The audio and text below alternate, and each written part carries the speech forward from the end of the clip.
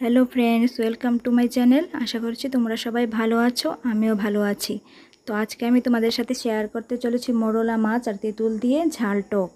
অনেক পুরনো দিনের একটা রেসিপি তো এই টকটা বানানোর জন্য লাগছে মোরলা মাছ, তেঁতুল আর অল্প রসুন আর রাঁধুনি বাটা আর শুকনো লঙ্কা বাটা।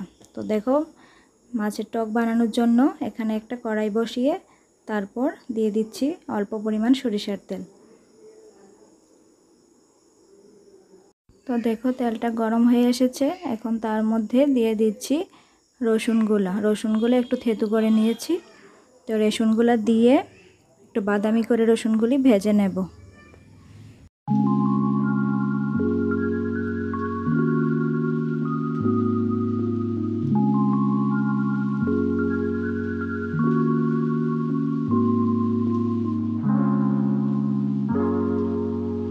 রসুনগুলি বাদামি হয়ে এসেছে। এখন তার মধ্যে দিয়ে দিচ্ছি মোরলা মাছগুলি। ধুয়ে রেখেছি মাছগুলি দিয়ে দিলাম। এখন তার মধ্যে দিয়ে দিচ্ছি পরিমাণ মতো হলুদ আর লবণ।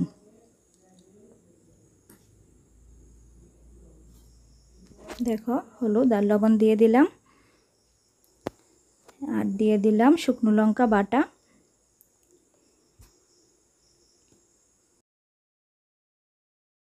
এখন তার মধ্যে দিয়ে দিচ্ছি তেঁতুল, পুরনো তেঁতুল। তো তেঁতুলটা দিয়ে মানে সামান্য একটু ভাজা ভাজা করব। তারপর হালকা ভাজা করে তারপর দিয়ে দেব জল। ভিডিওটা যদি তোমাদের ভালো লাগে তাহলে একটা লাইক করো আর আমার চ্যানেলটা সাবস্ক্রাইব করে আমার বন্ধু হয়ে যাও। আর যারা অলরেডি আমার চ্যানেলটা সাবস্ক্রাইব করে রেখেছো, তাদেরকে অনেক অনেক ধন্যবাদ।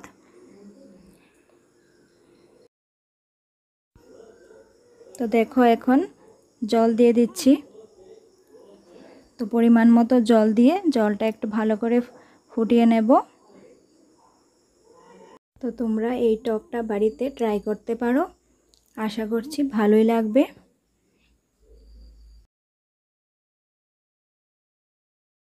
জলটা ভালো করে ফুটে উঠেছে, এখন তার মধ্যে দিয়ে দিচ্ছি রাঁধুনি বাটা। রাঁধুনিটা শিলনোড়াতে জল দিয়ে ভালো করে একটা পেস্ট বানিয়ে নিয়েছি, সেটাই দিয়ে দিলাম।